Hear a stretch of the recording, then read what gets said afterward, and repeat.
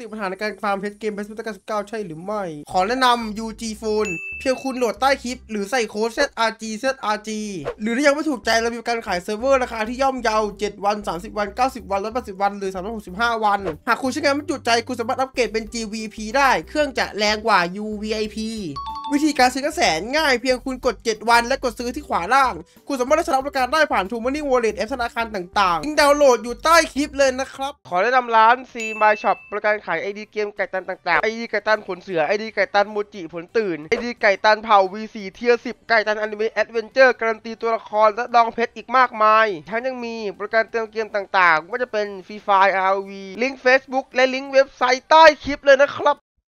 อะโอเคครับ เดี๋ยววันนี้จะมาพาไปเล่นอ่าแพทริกนะครับ หรืออีเวนต์ใหม่นะครับ ผมก็นี่ครับด่านเปิดแล้วนะ ก็เราอย่าพูดกันเยอะเราไปเลยดีกว่านะครับ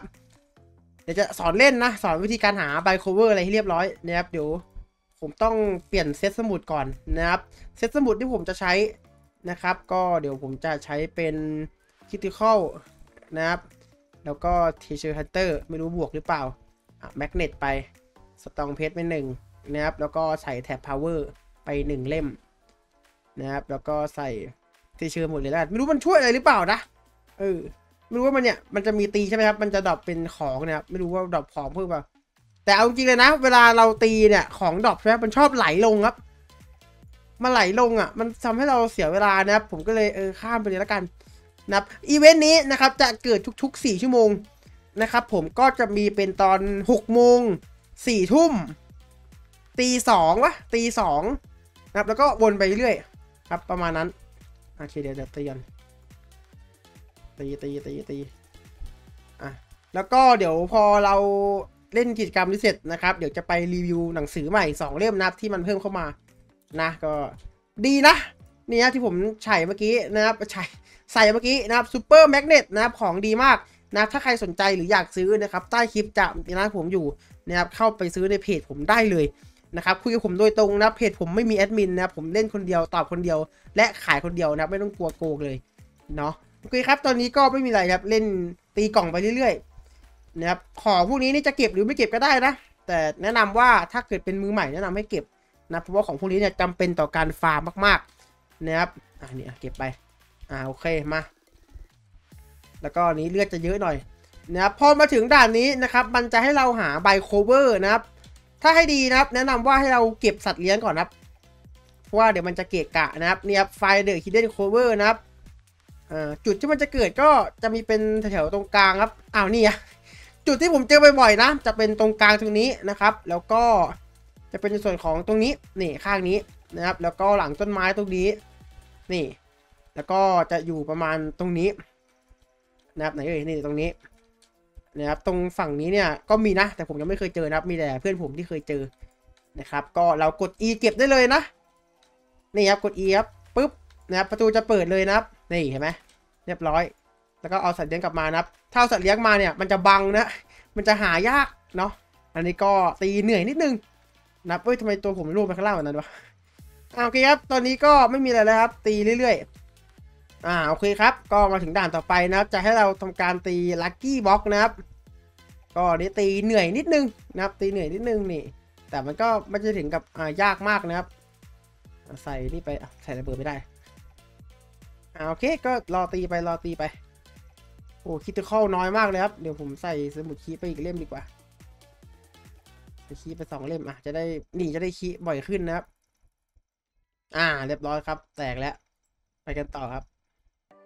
อ่าเรามาถึงที่สุ่มไข่แล้วนะไข่นี้นะครับจะมีเวลานะครับอยู่ที่หนึ่งชั่วโมง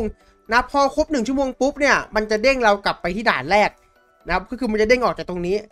นะครับก็นี่ครับมีให้สุ่มนะจะได้เป็นอ่าดราก้อนโคเวอร์จำชื่อไม่ได้ หรือว่า dragon kawaii นี่แหละลืมแล้วครับ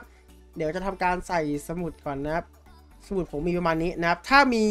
อ่า huge hunter นะครับใส่ huge hunter เนาะแต่นี่ผมไม่มีเลยเลยผมไม่ใช่สายสุ่มไงก็เลยไม่มีสมุดเกี่ยวกับการสุ่มเลยนะครับแล้วก็เดี๋ยวจะใช้เป็นน้ำยานะปุ๊บแล้วก็จะใช้เป็นนี่ครับ The Cocktail นะเพิ่ม 300%แบบนี้นะแล้วก็จะใช้เป็นฮิวโพชั่นนะครับมีเวลาสุ่ม1ชั่วโมงนะครับตอนนี้ก็ประมาณอ่าหกโมงห้าทีนะครับหนึ่งทุ่มก็จะหายไปนะผมก็จะทำการสุ่ม 1 ชั่วโมงเลยเนาะเดี๋ยวเรามาดูกันครับว่าผมเนี่ยจะได้อะไรนะครับ อะโอเคครับ ตอนนี้ผมก็เด้งออกมาแล้วนะครับไม่ได้ถ่ายไว้พอดีเมื่อกี้ไปทำไปข้างนอกมานิดนึงนะครับ ได้ฮิวอะไรมาไหมโหโห ไม่ได้อะไรเลยครับแทบไม่ได้อะไรดีๆเลย โอเค ก็ผมสุ่มทุกรอบนะตั้งแต่อีเวนต์มันมาเนี่ยก็ยังไม่เคยได้ยักษ์หรือได้อ่าตัวที่เป็นแบบเป็นตัวแบบ rainbow shiny เลยนะครับผม โอเคครับ มาเดี๋ยวเราจะมาพูดถึงสมุดกันนะครับ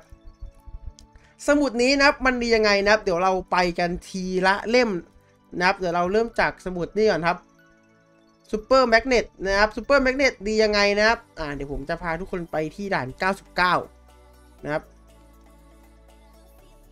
อะเรามาที่ด่าน 99 แล้ว